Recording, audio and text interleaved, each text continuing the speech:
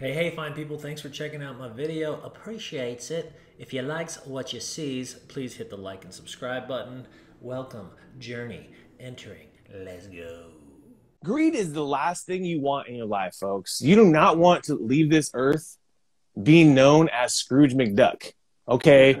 Uh, uh, you know, we hear the Tories. It feels good in the short term. Again, it's that lower self stuff, right? And Yeah, sorry to interrupt you, but right, Oh, it's, it's like true. you. It's true. We our primal instinct is I need more. I need to get as much as I can. I need to because you know I never know where my next meal is coming from. Back in the cave days when it was like you know you you weren't sure where. But we've evolved socially to where we, that's not the thing anymore. But yet our brains are still going more and more. I need. I need. So just like you look at the dog, you look at your dog or your cat. It's like your dog is going to go for every little scrap of food he can get.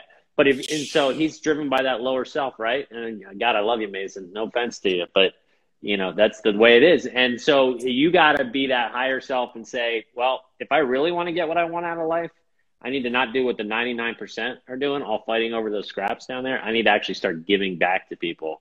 And the more I help and give, then that magical coming It's back. insane.